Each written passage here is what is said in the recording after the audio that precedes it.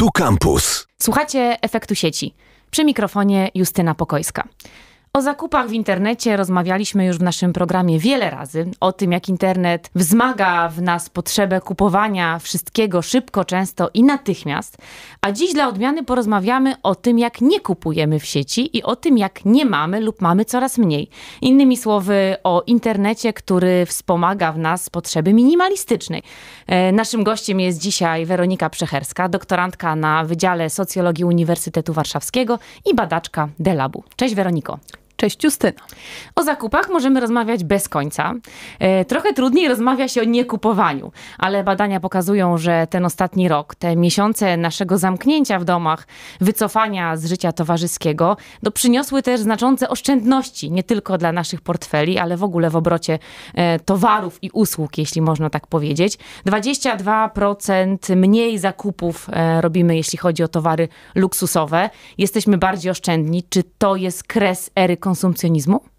Ja myślę, że ogłaszanie końca konsumpcjonizmu jest chyba trochę na wyrost, e, ale można jednak z dużą dozą prawdopodobieństwa założyć, choć takie badania są pewnie jeszcze przede mną, e, że pandemia przyspieszyła te procesy, które my, socjologowie, widzieliśmy już przed 2020 rokiem.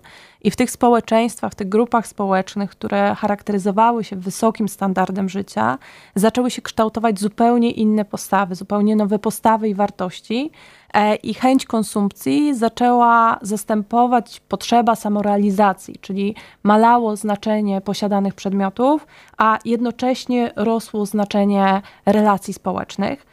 E, I już dekady wcześniej, przed pandemią, rozwijały się nowe style życia i postawy konsumenckie, takie jak na przykład kokoniarstwo, czy slow living, czy e, neonomadyzm lub właśnie minimalizm, który jest przedmiotem moich badań.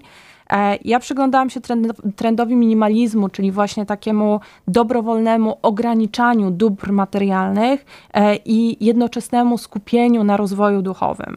E, co robią minimaliści? Minimaliści upraszczają codzienność. Oni eliminują ilość posiadanych e, przedmiotów, pracują mniej, mniej wydają, ale jednocześnie więcej poświęcają czasu na e, rzeczy, relacje, które są dla nich naprawdę ważne, hobby, samorozwój, sport, zdrowy tryb życia. E, I myślę, że ważne w tej dyskusji o minimalizmie jest zaznaczenie, że będziemy tutaj dzisiaj rozmawiać o dobrowolnej, a nie wymuszonej, na przykład trudną sytuacją ekonomiczną e, strategii życia. Niektórzy badacze oczywiście łączą te dwa wątki i wskazują, że minimalizm jest jedną z odpowiedzi na tę pokryzysową rzeczywistość, na rzeczywistość po 2008 roku, e, ale to jest z pewnością temat na odrębne badanie i kolejną audycję, bo tych przyczyn minimalizmu jest zdecydowanie więcej i one są zróżnicowane zróżnicowane. Ja bym tutaj wskazała na takie um, cztery najważniejsze. E, przede wszystkim to jest wzrost świadomości konsumenckiej, czyli mm, my jako konsumenci coraz więcej wiemy o sposobach produkcji, coraz bardziej zdajemy sobie sprawę, w jakich warunkach i jakim kosztem wytwarza się na przykład ubrania, które nosimy na co dzień. E, druga kwestia to jest wzrost świadomości ekologicznej, czyli zdajemy sobie sprawę, że ta, jak, e, w jaki sposób ta nadmierna konsumpcja wpływa na środowisko i że konsumując bez opamiętania po prostu zabijamy planetę. Rozgryźliśmy też mechanizmy działania reklamy, czyli jesteśmy bardziej świadomi, że świat kreowany przez reklamę ma niewiele wspólnego z naszą rzeczywistością i że kupując kolejną bransoletkę, czy e, kolejne spodnie, czy nawet kolejny samochód, e, nasza codzienność nie zmieni się i że to, co widzimy w reklamie, niewiele ma wspólnego z rzeczywistością. E, I jednocześnie zmieniają się nasze cele, zmieniają się takie wskaźniki dobrobytu, tak by to nazwali socjologowie. Coraz ważniejsze są spokój, E, czyste powietrze, czas wolny, e, kondycja psychiczna i fizyczna, a nie przedmioty materialne. To zanim przejdziemy do tych e, różnych postaw, które wskazałaś, chociaż fascynuje mnie kokoniarstwo, ale do tego dojdziemy zaraz, to powiedz mi, gdzie jest w tym wszystkim internet? Bo, bo wyszłyśmy od założenia, że jakąś rolę w tym niekupowaniu odgrywa internet. I jak e, pomyślę o, o takich danych, które e, znam na temat aktywności e-commerce'owej Polaków, to one wszystkie wskazują na to, że w czasie pandemii rozsypał się worek z zakupami w sieci i to i seniorzy, i najmłodsi korzystają znacznie częściej z zakupów online. Więc w którą stronę tutaj działa internet, że on ogranicza nasze zakupy? Jak, jak, jaki tu jest wektor um, tej siły internetu? No, oczywiście dostępność technologii może sprzyjać e, kompulsywnym, nieprzemyślanym zakupom, bo e, internet w istocie jest takim wielkim reklamowym billboardem, e, gdzie stale ktoś zachęca nas do tego, żebyśmy kupili lub wypróbowali coś. Jednak sieć to, sieć, smartfon to jest tylko narzędzie i przez każdego z nas jest wykorzystywane w inny sposób. E, ja w badaniu, które e, przeprowadzałam jeszcze przed pandemią, chciałam e, pokazać, jak technologia sprzyja tym osobom, które chcą się ograniczać chcą kupować mniej, chcą posiadać mniej. I można wskazać kilka takich czynników, które są z technologiami związane. E, pierwsza kwestia to jest e, dematerializacja, czyli dzięki technologiom przekształcamy te wszystkie obiekty, narzędzia, czyli na przykład e, książki, zdjęcia, pieniądze, płyty na formę cyfrową. Mówiąc krótko, technologie sprawiają, że wiele przedmiotów, które nas otaczają, po prostu znika. Weźmy najprostszy przykład płyt. Kiedyś trzymaliśmy płyty na półkach. Teraz w momencie, kiedy są one zgromadzone w naszych a, a, smartfonach, tudzież laptopach, te półki już nie są nam potrzebne. Tak samo pieniądze. Nie wiem, czy pamiętasz e, takie małe portmonetki jak... E, na bilon? Na bilon. E, ja nie pamiętam, kiedy widziałam taką małą portmonetkę u kogoś na bilon. Jest, jest to oczywiście spowodowane rozwojem technologii i, i, i tym, że coraz częściej płacimy przy pomocy kart płatniczych, a coraz rzadziej właśnie przy pomocy gotówki. I ta dematerializacja, ona jest tylko elementem, częścią takiej szerszej zmiany społecznej, którą obserwujemy i która przez e, amerykańską badaczkę, która nazywała się, nazywa się Mary, Mary Meeker, ona została określona mianem lekkiej generacji, czyli e, przedstawiciele lekkiej generacji potrzebują jedynie telefonu komórkowego i konta bankowego. I dzięki internetowi mogą korzystać z usług, mogą wypożyczać sprzęty, mieć cały, stały dostęp do wiedzy i rozrywki. Niezależnie e, od miejsca i czasu ma dla nich znaczenie dostęp do dóbr, a nie, nie same dobra, tak? E, I oni są przeciwieństwem do tej tak zwanej ciężkiej generacji, czyli generacji naszych rodziców, e, którzy zdecydowanie więcej czasu przeznaczali na obowiązki, oczywiście nie mogli zamawiać produktów, usług przez internet, a ta lekka generacja, czyli nasza generacja, właśnie dzięki technologiom ogranicza ilość posiadanych przedmiotów, na przykład częściej je wypożyczając lub pożyczając. I to jest taki, taki trzeci element, który, o którym chciałam krótko opowiedzieć, a mianowicie ekonomia współdzielenia. E, dzięki technologiom, właśnie dzięki tym nowym modelom gospodarczym e, i społecznym zjawiskom, możemy częściej wypożyczać przedmioty, przykładowo e, na platformach komercyjnych, na przykład wypożyczając ubrania z wypożyczalni ubrań, ale technologia sprzyja też temu, żebyśmy mogli na przykład w ramach takiej sąsiedzkiej wymiany niekoniecznie kupować, a właśnie wypożyczać przedmioty i tak jakby wzajemnie z nich korzystać. Znaczy korzystać z jednego przedmiotu, niekoniecznie, niekoniecznie go nabywając no wybacz może e, takie wywrotowe pytanie, ale to tutaj nie ma mowy o ograniczeniu konsumpcji, czy też ograniczeniu e, dostępu, bo e, no, gra rozgrywa się pomiędzy mieć na własność, a mieć dostęp i nie mieć na własność, ale ja bym tutaj powiedziała, że nie ma minimalizmu. Jeżeli te same płyty, które miałam na półkach, mam teraz w smartfonie, to ja i dalej mam. One się zdematerializowały, tu pełna zgoda. Nie mam półki, nie mam tych plastikowych obwolut, ale płyty dalej mam i z punktu widzenia konsumpcji ona nie jest wcale mniejsza. Ona jest wręcz czasami większa, bo mam możliwość przesłuchania większej liczby płyt niż miałabym na półce w domu. Więc y, czy to nie jest takie y, trochę oszukiwanie się, że ten minimalizm to oznacza po prostu nieposiadanie tych przedmiotów w domu, a tak naprawdę posiadam ich jeszcze więcej niż, y, niż przed, bo nie mam tych ograniczeń związanych z przestrzenią, finansami czy, czy koniecznością posiadania ich na wyłączność. E, przykład płyt, czy w ogóle digitalizacji muzyki jest bardzo ciekawym przykładem. Spójrz, na przykład kiedyś musiałaś kupić całą płytę. Jeżeli e, chciałaś słuchać e, jakiejś określonej muzyki, określonego wykonawcy, teraz możesz nabyć tylko na przykład jeden kawałek, który szczególnie Cię interesuje, szczególnie Ci się podoba. Także oczywiście, tak jak mówiłyśmy wcześniej, sieć może sprzyjać tym kompulsywnym zakupom, może sprawiać, że kupujemy więcej, może, może sprawiać, że te rzeczy, które wcześniej gromadziliśmy w formie przedmiotów, teraz gromadzimy w formie cyfrowej. Natomiast ja tutaj chciałabym nadal wrócić do tego tematu minimalistów i, i, i minimalistek, które starają się te możliwości technologiczne, które oferuje sieć, które oferuje smartfon, wykorzystywać w sposób taki, który umożliwia im jednak e, ograniczenie konsumpcji, a nie kreuje nowe potrzeby i nowe zakupy. To czas na kokoniarstwo, na neonomadyzm, na slow life, choć pewnie to ostatnie jest nam najbliższe. Weronika, czym jest kokoniarstwo i czy to jest y, coś przytulaśnego, e, związanego z jakąś ciepłą, przyjemną tkaniną w domku, czy jakiś zupełnie inny trend obrastania w dobra? Tak bym sobie to tłumaczyła. Ja myślę, że sądząc po zainteresowaniu prowadzącej tematem kokoniarstwa, to poświęcimy mu być może jeszcze kiedyś inny odcinek odrębny, e, ale kokoniarstwo to jest e, jeden z tych trendów, oprócz właśnie minimalizmu, nomadyzmu i slow life, który rozwija się już od kilku dekad i który obserwowaliśmy przed pandemią.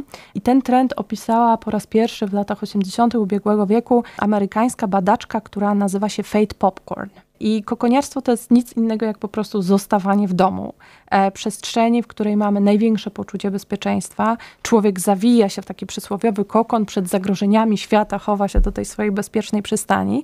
I termin ten powracał przy okazji różnych wydarzeń, e, na przykład e, ataku na wieżę WTC. I teraz oczywiście takim czynnikiem jest COVID. I tutaj wracając do tego ulubionego naszego tematu w Delabie, czyli tematu nowych technologii. Nowe technologie na pewno, i to zobaczyliśmy podczas pandemii, sprzyjają możliwości, znaczy sprzyjają możliwości zwiększania się, rozwijania się tego stylu życia, bo przecież i zamawiamy zakupy przez internet, i zamawiamy jedzenie na wynos. Większość z nas pracuje, znaczy spora część z nas również pracuje z domu, e, więc e, mamy tutaj e, taki trend, który pokazuje, że dzięki technologiom możemy jak najrzadziej opuszczać swoje mieszkanie, chroniąc się przed zagrożeniami świata.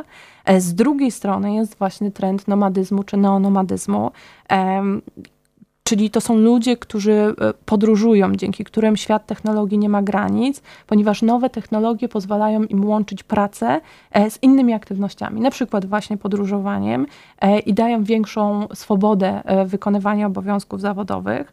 Mm, I kryterium e, decyzji o tym, gdzie zamieszkać, e, gdzie pracować, e, jest dla nomadów czy neonomadów właśnie dostęp do internetu, który umożliwia i pracowanie, i korzystanie z usług. I oczywiście, jak większość z nas słyszy nomada, cyfrowy nomada, to myśli o programiście albo o specjaliście od marketingu cyfrowego, który gdzieś na plaży pod palmą pracuje. Natomiast cyfrowy nomadyzm nie musi być równoznaczny z przemieszczaniem się E, na dalekie dystanse, bo współczesnym nomadą można być również przemieszczając się e, w obrębie jednego miasta. Najważniejsze tu jest to, że jesteśmy podłączeni do internetu, że możemy z każdego miejsca w naszym mieście czy z każdego miejsca na świecie e, wykonywać nasze obowiązki zawodowe, jednocześnie łącząc pracę z przyjemnościami czyli w dobie pandemii nauczania zdalnego jestem cyfrowym nomadą, e, bo nadaję zajęcia z różnych miejsc i studenci moi też są e, nomadami, a kiedy w sobotę nie chce mi się wyjść z domu, to uprawiam kokoniarstwo. Więc dobrze zapamiętać, to jest e, myślę alibi na leniwą sobotę czy niedzielę w domu, ale ty badałaś minimalistki, ty badałaś konkretne blogi dziewczyn, które w sieci opowiadają o tej nowej postawie, którą w sobie wykształciły. Do czego minimalistki czy minimaliści, bo to pewnie też też są mężczyźni, używają internetu i czy można powiedzieć, że to jest jakaś przestrzeń, która ma taką misję, by wspierać nowe postawy i rozwijać coś wartościowego w społeczeństwie, czy już takie nadzieje związane z internetem są dawno nieaktualne i w tym przypadku również o tym nie ma mowy? Ja bym wskazała na takie dwie kwestie. Przede wszystkim technologia jest dla nich źródłem e, wolności zawodowej i osobistej. I ja analizowałam kilka blogów minimalistek, polskich minimalistek były to kobiety. E, zainteresowanych oczywiście odsyłam do mojego artykułu, który, który można znaleźć w sieci, ale one postrzegały internet, postrzegały sieć e, jako źródło wolności, rozumianej także jako możliwość wykonywania wolnego zawodu. Wszystkie autorki analizowanych blogów e, wykonywały właśnie wolne zawody, będąc jednocześnie takimi cyfrowymi nomadami, minimalistkami i wyrażały przekonanie, że mogą dzięki możliwościom technologicznym, dzięki temu, co oferuje technologia, decydować o swoich obowiązkach, a tym samym też pielęgnować e, wybrany styl życia, który polega właśnie na e, ograniczaniu konsumpcji i angażowaniu się na przykład w życie rodzinne, tudzież e, praktykowaniu swojego hobby. I ta praca na własny rachunek, możliwa dzięki internetowi, była dla nich, tak jak powiedziałam, tym źródłem osobistej wolności. Pozwalała jedno, jednocześnie zredukować stres związany na przykład z przebywaniem w biurze i jednocześnie ograniczyć e, bardzo często e, ilość obowiązków które, zawodowych, które musiały wykonywać. A druga kwestia to jest promocja minimalizmu w, w przestrzeni internetowej, czyli internet, sieć, ich profile społecznościowe, ich blogi stały się dla nich takim kanałem, żeby mówić światu, mówić odbiorcom, słuchaczom. To są bardzo popularne blogi co jest dla nich ważne, dlaczego jest dla nich ważne, jakie były powody ich decyzji ograniczenia, e, o ograniczeniu konsumpcji. Także internet był po prostu dla nich taką, e, taką platformą do, do szerzenia, być może to jest bardzo górnolotnie powiedziane, ale swojej misji e, i, i, i swoich przekonań. I to są takie dwa główne czynniki, na które bym wskazała to jest zupełnie inny obraz minimalizmu niż taki jak u Diogenesa, który nawet i ostatni kubek oddał. Dlaczego minimalistki korzystają z internetu? Czy tego nie mogłyby się wyrzec? Czy to, e, czy to też nie jest element konsumpcji? Bo dalej brnę w to, że e, być może ten minimalizm, oczywiście absolutnie nie jestem przeciw, to jest tylko mm, e, dyskusja taka pobudzająca nas do, do, do refleksji. No, czy to nie jest przypadkiem no, taka postawa, która właśnie jest związana z modą, która jest związana z takim momentem w rozwoju naszego społeczeństwa czy społeczeństwa e, zachodniego, że to jest modne, potrzebne i uznane. No ale jeśli one dalej korzystają z internetu, dalej korzystają ze wszystkich dobrodziejstw jedzenia przywożonego do domu w ramach kokoniarstwa sobotniego, ze wszystkich portali z muzyką, czyli mają wszystko, to gdzie jest ten minimalizm? Czy może powinny jednak się wyrzec czegoś w imię tego swojego e, ograniczenia konsumpcji? Bycie minimalistą e, niekoniecznie oznacza praktykowanie kokoniarstwa, ale sieć jest narzędziem pracy minimalistów, e, przynajmniej tych, których ja analizowałam w ramach swojego badania. Natomiast takie ograniczenie internetu, zmęczenie technologią, bo zakładam, że też o to pytasz, było waż bardzo ważnym wątkiem w tym badaniu. I nie jest to oczywiście zjawisko nowe, bo już kilka dekad temu e, amerykański futurolog Alvin Toffler pisał o tym, że ten nadmiar informacji, nadmiar kanałów komunikacji bardzo podnosi tempo codzienności e, i sprawia, że jesteśmy coraz bardziej zmęczeni i psychicznie, i fizycznie. I nadmiar bodźców może skutkować problemami z pamięcią, ograniczonymi możliwościami skupienia się. Dlatego właśnie e, te analizowane przeze mnie blogi, e, takim ważnym wątkiem na nich było to, to wylogowanie się do życia, to ograniczenie dostępu do informacji i jest to też na pewno praktykowane przez polskich minimalistów, polskie minimalistki, które były przedmiotem mojego badania to pytanie filozoficzne na koniec. Skoro nie posiadanie, takie na własność, skoro nie te półki z płytami w domu, e, nie własny samochód, czy też e, nie tony ubrań, to co jest dzisiaj ważne dla polskich minimalistek, czy minimalistów, czy e, przedstawicieli tego nurtu? Jakie wartości w związku z tym są istotne, skoro nie posiadanie i nie towar? Mhm. Zdrowie, bycie bezpiecznym to zawsze były najważniejsze wartości i to pokazują i badania polskie i zagraniczne. Jeżeli przyjrzeć się na przykład wynikom diagnozy społecznej, która e, ostatni raz chyba była przeprowadzana w Polsce w 2015 roku, jeżeli pamięć mnie nie myli, to niezmiennie te badania wskazywały, że najważniejszą wartością dla Polaków jest zdrowie. E, I możemy mieć pewność, że pandemia tylko ten trend wzmocniła, bo najmocniej są zakorzenione w nas te wartości, które wynikają z naszych osobistych doświadczeń.